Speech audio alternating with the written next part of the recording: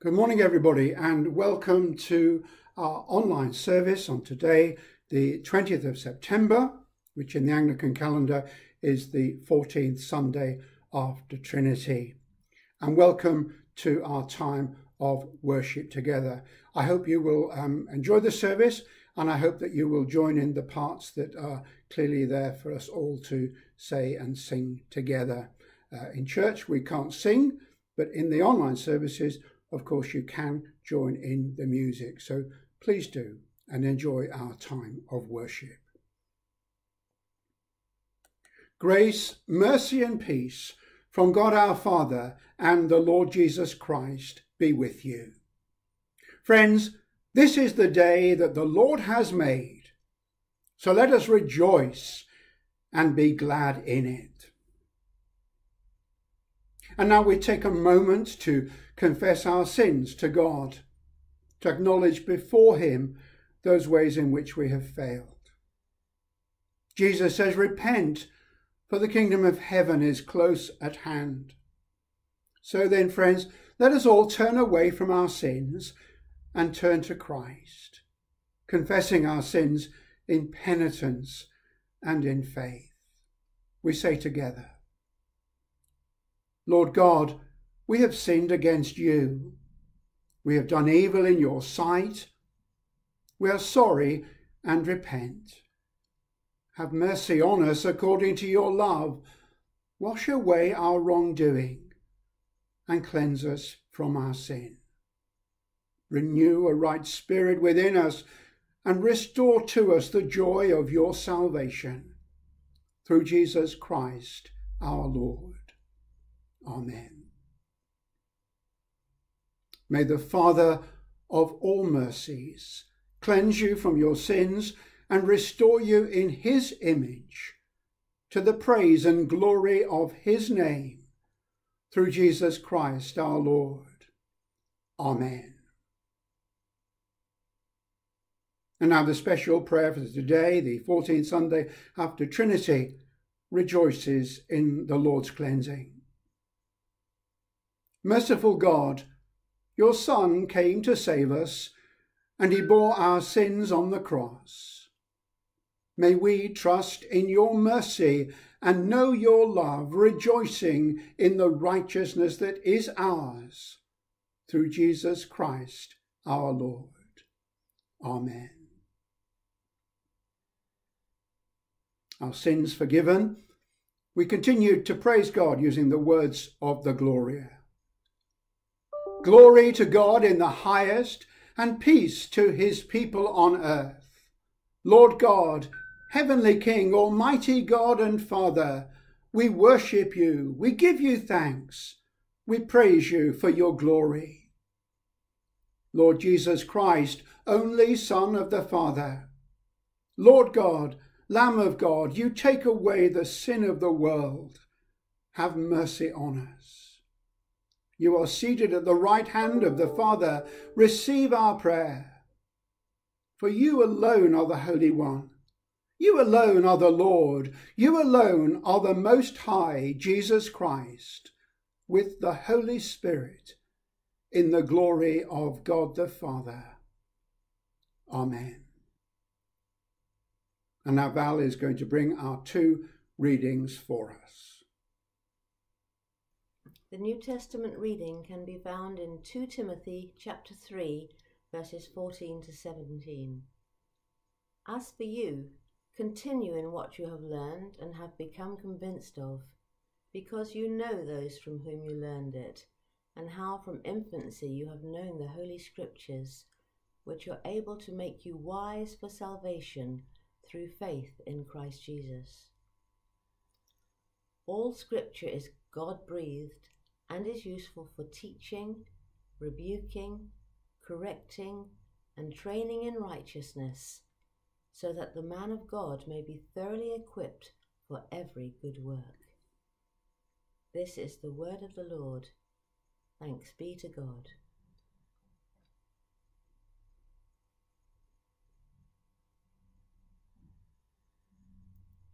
The Gospel reading can be found in the Gospel according to Luke chapter 4, verses 16 to 21. He went to Nazareth, where he had been brought up, and on the Sabbath day he went into the synagogue, as was his custom. And he stood up to read. The scroll of the prophet Isaiah was handed to him. Unrolling it, he found the place where it is written, The Spirit of the Lord is on me, because he has anointed me to preach good news to the poor. He has sent me to proclaim freedom for the prisoners and recovery of sight for the blind, to release the oppressed, to proclaim the year of the Lord's favour. Then he rolled up the scroll, gave it back to the attendant, and sat down. The eyes of everyone in the synagogue were fastened on him, and he began by saying to them, Today this scripture is fulfilled in your hearing. This is the gospel of the Lord. Praise to you, O Christ. And now we're going to sing together the hymn, My Hope is Built on Nothing Less. Please join as we sing together.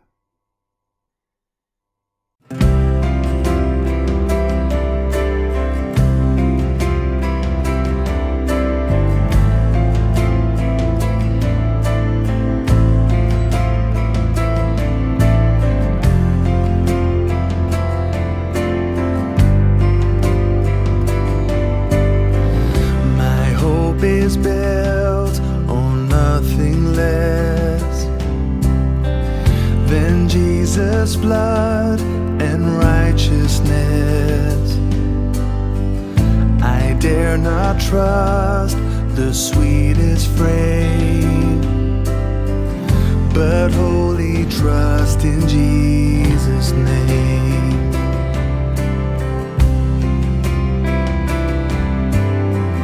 My hope is built on nothing less than Jesus' blood and righteousness.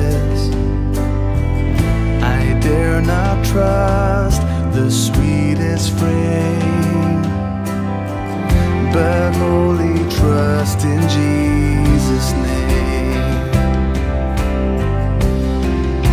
Christ alone, cornerstone, weak made strong in the Savior's love through the storm is Lord, Lord.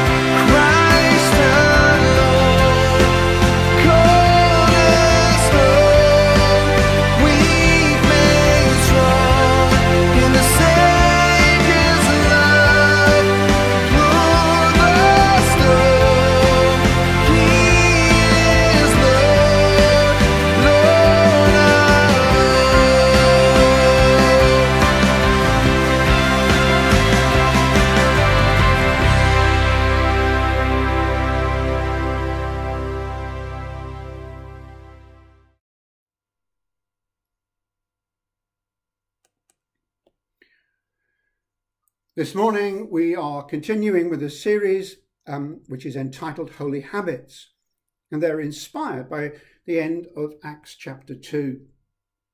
You'll no doubt recall that the end of that passage describes the emerging church as being vibrant and flourishing, as being attractive and inspiring. We can see that they looked well beyond themselves and constantly sought new people coming to faith. And they saw people coming to faith in vast numbers. But it also describes here a series of holy habits, things which the church was committed to doing, which served to make them what they became. Now, good habits can be really important. In these trying times, we have learned more than ever the benefit of washing our hands. We now do it frequently and more thoroughly. And we do it because we know it's beneficial. We know that it will help to fend off this dreadful virus. And as children grow up, we teach them that when they're crossing the road, they must be careful, they must look right, they must look left, and they must look right again. And of course, there are lots of other habits we embrace for very good reason and which prove beneficial to us. In Acts chapter 2, the writer Luke identifies 10 very specific habits in the early church which caused them to prosper. And today we're looking at the important habit of embracing biblical teaching. Now, Val and I um, often watch TV quizzes. And one of the ones uh, we've begun watching recently is Richard Osman's House of Games. I mention it because a question this week was how many words are there in the King James Bible? There were four contestants there. Nobody got anywhere near the correct answer and they all vastly overestimated. I actually heard the true answer, but I cannot remember it at all. Am I bothered? Did I forgotten? No, not in the least. What does it really matter how many words are in the Bible? It doesn't matter at all. What matters is how God uses Scripture today to communicate with me and his church. Now, I like to think of the Bible in this way as being a love letter from God. When we receive a special letter, a love letter perhaps, or indeed something else which is special, it has an impact upon us. We read it and our hearts are warmed, our attention is arrested and other things move into the background whilst this letter takes centre stage. Maybe we then sit down and reflect on what we have just read. We may put it aside for a moment or two, do something else. But what we nearly always do is pick that letter up again and again. And every time we read this love letter, it warms our heart afresh. We may go on to put it in the drawer for safekeeping, perhaps, but it doesn't stay there. And because it's special, it comes out to be read and to be read again and again. Friends, the Bible is a love letter from God to us as individuals and also to his church. When we engage with it, we will always be blessed. And the end of Acts chapter 2 tells that one of the things they did was to devote themselves to the apostles' teaching and to the fellowship, to the breaking of bread and to prayer. In these young Christians who saw God amazingly and powerfully at work, there was a hunger to be fed from God's word. You see, something happens as we are drawn into Scripture. The Holy Spirit, as we ask Him to, comes and makes it real. He makes it alive and He makes it personal. And if we really start to engage with it, it's really rather like pork scratchings. You want more and more. And that's what happened here with the early church. The young church had a, a young leader whose name was Timothy. Now, St. Paul was eager to advise and help him when he could. Timothy was young, and he had some very real challenges because of that, leading a church which was not easy. And in 1 Timothy chapter 4 and verse 12, Paul tells him, Timothy, don't let anyone look down on you because you are young, but set an example for the believers in speech, in life, in love, in faith, and in purity. Timothy is to lead by example, but he also must not be intimidated by his young age because God has appointed him. Now that was tough. In our reading for today, Paul has even more important advice. Paul tells Timothy to hang on hard to the scriptures in 2 Timothy 3, verses 14 and 15. He's been schooled in them from infancy, and they are able to make him really wise, always pointing Timothy to Jesus. And he goes on to remind Timothy why the scriptures are there. They are useful for teaching, for rebuking, for correcting, and for training in righteousness, so that the man of God may be thoroughly equipped for every good work. The scriptures direct our lives and they equip us.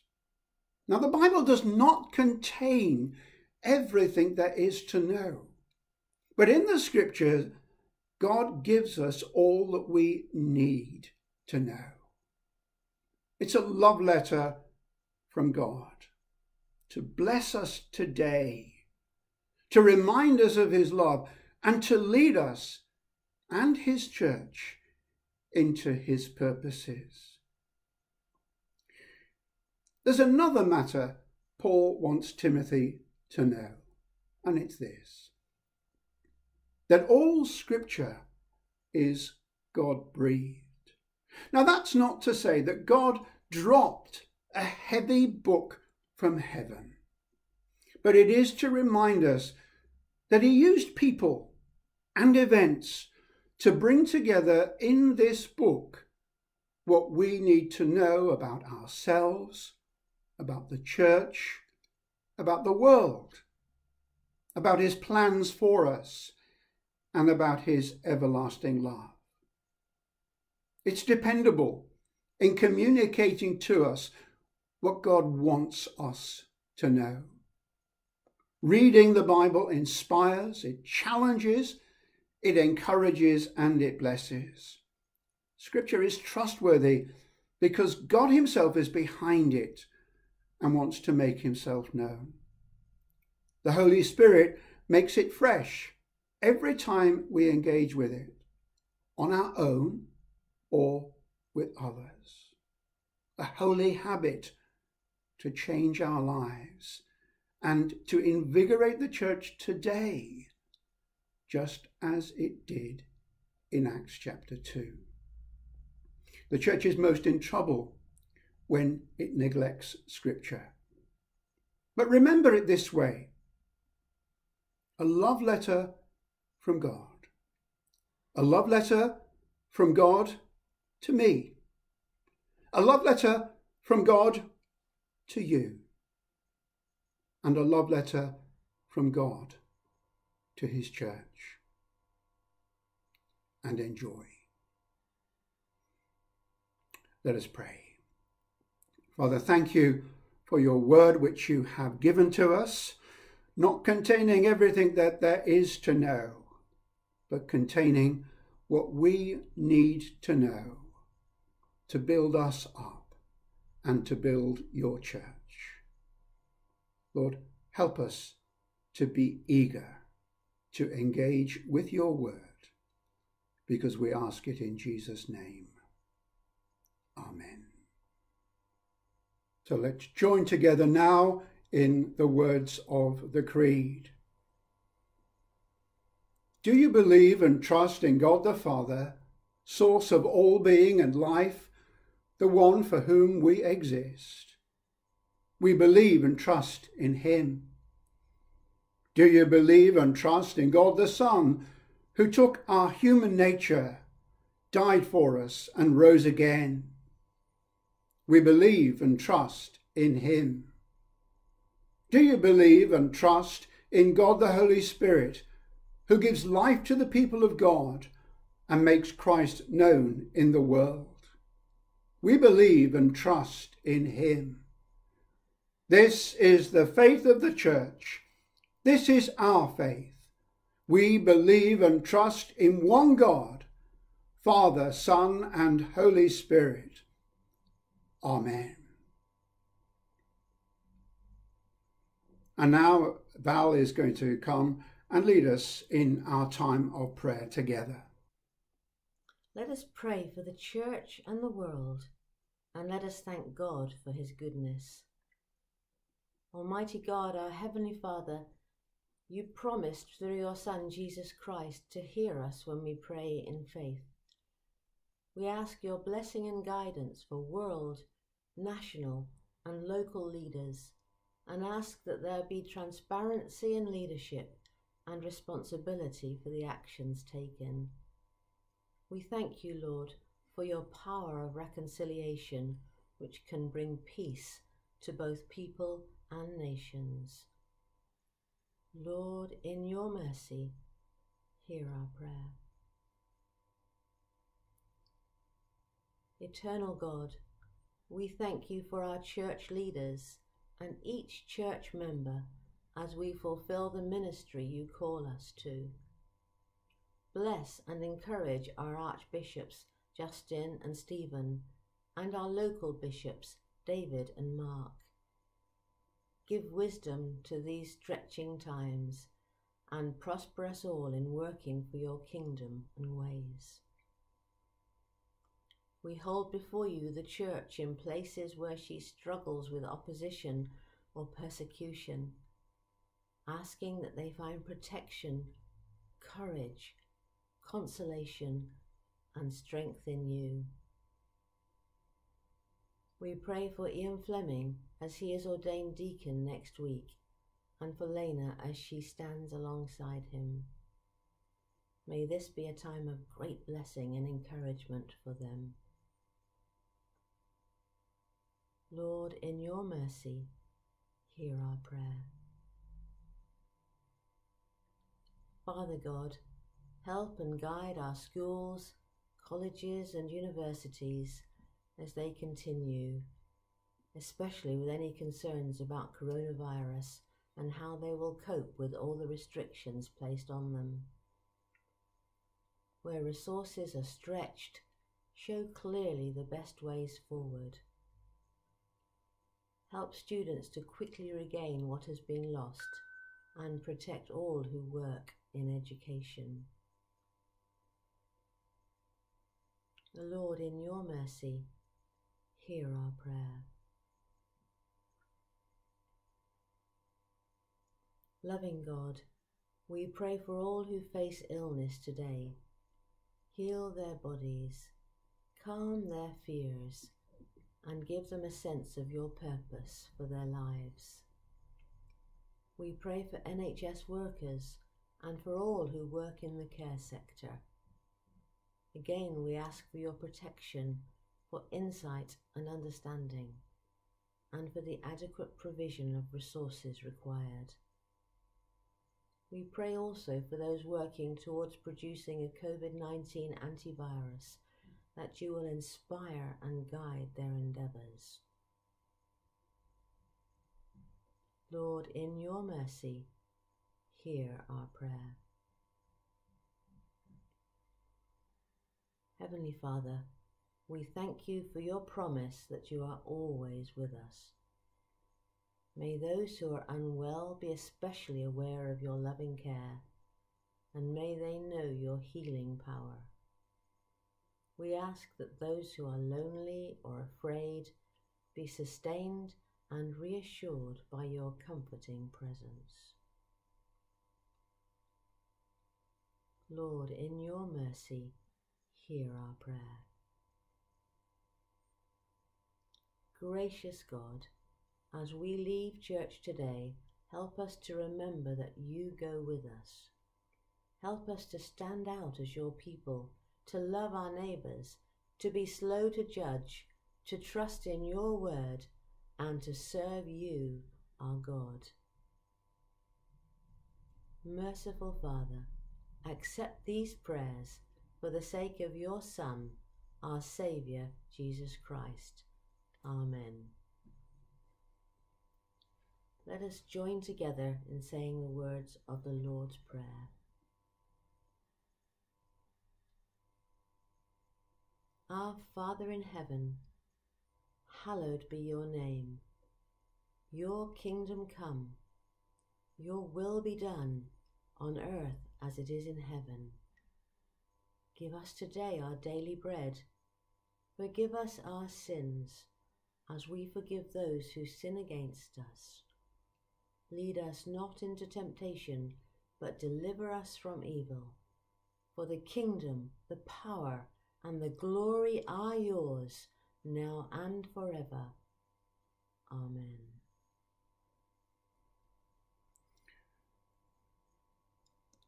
We're now going to sing again. We're going to join in the song, There is a Redeemer. Please join in singing together.